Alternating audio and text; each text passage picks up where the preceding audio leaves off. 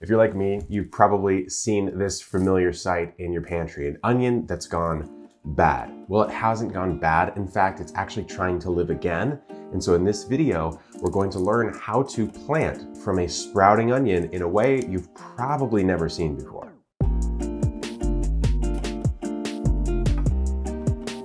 Kevin Espiritu here from Epic Gardening, where it's my goal to help you grow a greener thumb. And part of that is making use of your food scraps, but in a way that actually sets you up for success. Because a lot of the things that go around on the internet about regrowing food scraps, your carrot tops, all that stuff, it's not quite there as far as what you're actually gonna get. And I, I think for beginner gardeners, it doesn't set their expectations right. Because let's say they say, hey, you can replant a carrot top. Well, you're just gonna get carrot greens. You're not gonna get a new carrot. And so with onions, I think there's a cooler, more creative and interesting way to replant these, which is exactly what we're gonna do. So cultivate that like button for Epic Onion Sprouts and let's get into the video.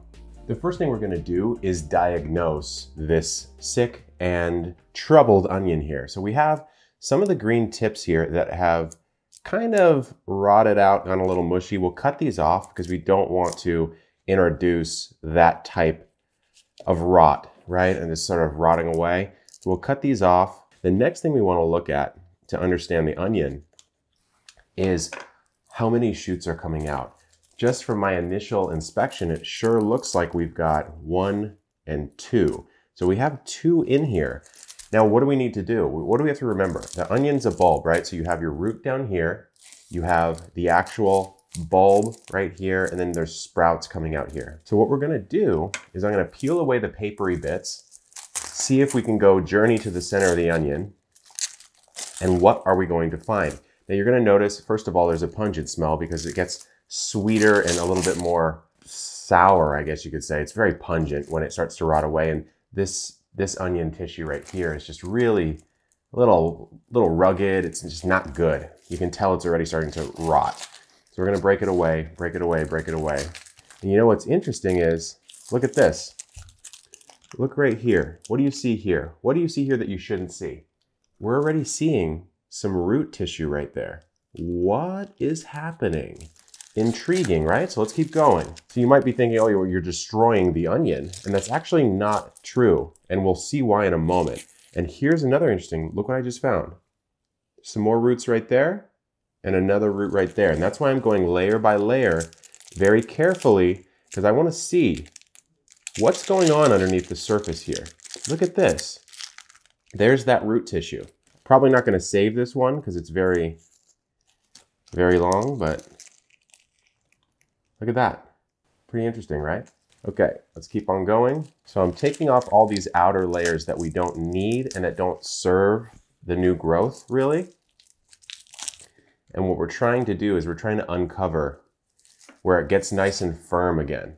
Oh, look, we found where this one grew upside down. It didn't quite make it all the way out when it sprouted. And so it got stuck under and it was starting to grow in. A lot of new discoveries we are making in this humble little onion, huh? Take a look. Remember, we have two sprouts, right? And so it's been divided really into two here. So what I'm gonna do is see if I can just gently separate these after I peel back a couple more layers. Okay, so we have these two pieces here. We have the old root tissue at the bottom, but you can see where the new roots are coming out. It's not quite at the bottom. See what I mean? You have this old dead root tissue down here, and then there's another little gap, if you will, and it's reset. And so you don't actually need the root tissue at the bottom and you can split this in half, which is what I'm gonna do here. So I'm coming through with my knife and very gently, just to make sure I don't cut anything that I don't wanna cut. There we go. So we're gonna chop that right down the middle. Check that out. So when you look at it, what you see here, this is the root tissue zone of the onion. And so this is where the old onion was. But if I peel away, let me just peel this away so you can actually see what's happening here. You can see the new roots are not coming out at the bottom. They're coming out above the bottom. And so you don't actually need this right here. You could chop right about there off and take a look. It's kind of dead. There's no, there's no water in that tissue right there. We don't need it. And what we've given ourselves is, well, it looks like we recovered about three roots on this one. So not the best, but really not the worst. And we're going to put this in water to root the rest. Let's do this one now. This one has no roots yet. We can cut off, well, no, there's one right there, but we can cut off this section right here. Doesn't seem to be necessary. It's old root tissue. And voila. Before I go on to the next step, I'm just gonna clean up if I've damaged any of these layers. I want intact layers only, so I'll peel off this extra outer layer. But we're at a point where this can regrow really well.